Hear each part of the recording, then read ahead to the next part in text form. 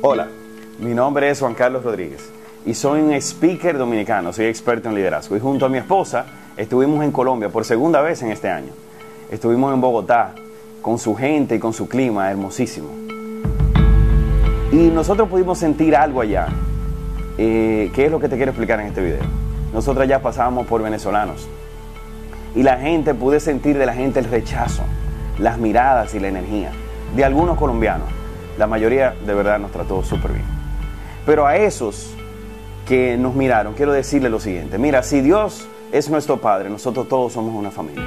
Y nuestros hermanos venezolanos simplemente están pasando por un mal momento.